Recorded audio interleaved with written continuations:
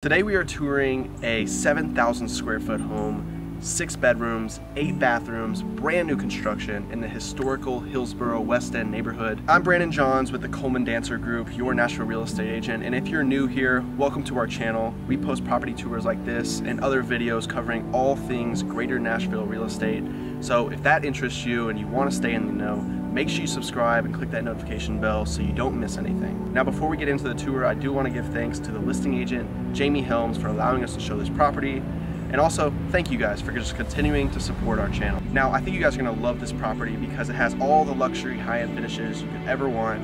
It's got 14 foot floor to ceiling windows in the great room, beautiful kitchen, beautiful primary, suite and bathroom. And what I really love the most is the cocktail pool in between primary residence and the DADU above the three car garage, which is actually a 900 square foot apartment as well. Now with all that being said, if you have any questions about Middle Tennessee, Nashville real estate, questions about this property, or just real estate in general, be sure to contact us. We are here, we're your resource, we're your Nashville real estate agent, and we're here to help. Thank you so much for watching. I hope you enjoyed the tour.